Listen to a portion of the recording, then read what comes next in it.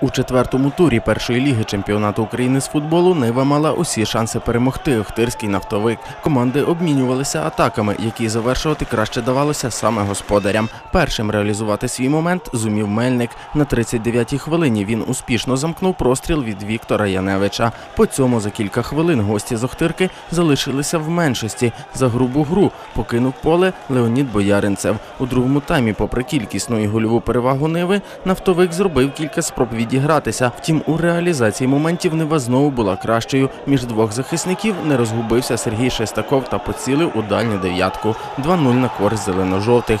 По цьому команда втратила кілька нагод збільшити перевагу. А із 78-ї хвилини матчу у Ниви вже почали виникати проблеми. Помилка в захисті, якою скористався Євген Радіонов. Далі за другу жовту картку поле покинув Сергій Загинайло, і Нива також заграла у десятьох. Відразу ж нафтовик отримав нагоду зрівняти рахунок. Втім, призначений арбітром пенальті реалізувати не вдалося. Надійно відіграв Базилевич, перевівши м'яч на кутовий і, як виявилося, таки фатальний для Ниви. По розіграшу корнеру суперник із Охтирки таки зводить гру у нічию. Підсумок матчу 2-2. Пропустили мяч. Самое главное, что ребята просто руки не опустили, а у Ахтырки есть характер такой, и есть психология победителя. Это наша не первая игра, когда мы играем в меньшинстве, и играем до последнего и забиваем мячи.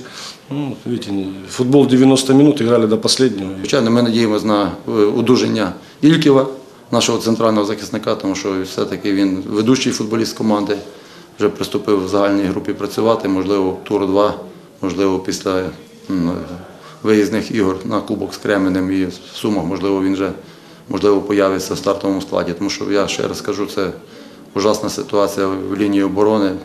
Ну, Поки ми вели 2-0, забили м'ячі, поки ми грали дисципліновано ззаді і строго чітко, поки вони виконували установку на гру, командна гра дивилася здорово. Тільки вони почали займатися анархією, е, почали грати кому як збагнеться. Звичайно, почались у нас проблеми, і ці проблеми вже неодноразово у нас виникають. Компенсувати невдачу Нива спробує на виїзді в Сумах. Суперники наразі мають по сім очок в активі, тож важливість цієї гри не варто применшувати. Втім, іще до цього Нива зіграє кубковий матч проти друголігового Кременя із Кременчука. Кремінчузі поле штучне.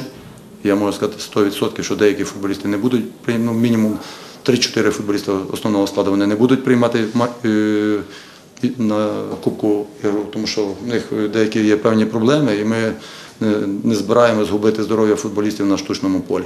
От. Будуть грати ті футболісти, які не участвували в сьогоднішньому матчі.